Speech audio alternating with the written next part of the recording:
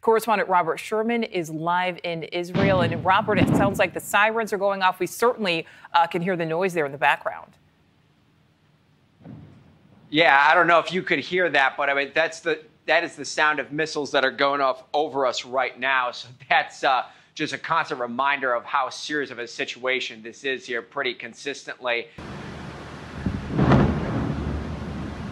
A lot of anticipation on the ground here right now, Nicole, as we wait to see what exactly happens with the potential for a ground invasion in Gaza. One thing that was talked about today was the possibility of a ceasefire.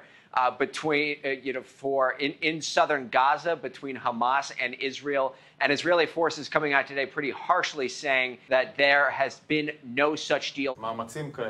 Currently, there are no such efforts. In case anything changes, we will update the public. We are carrying on with the war against Hamas.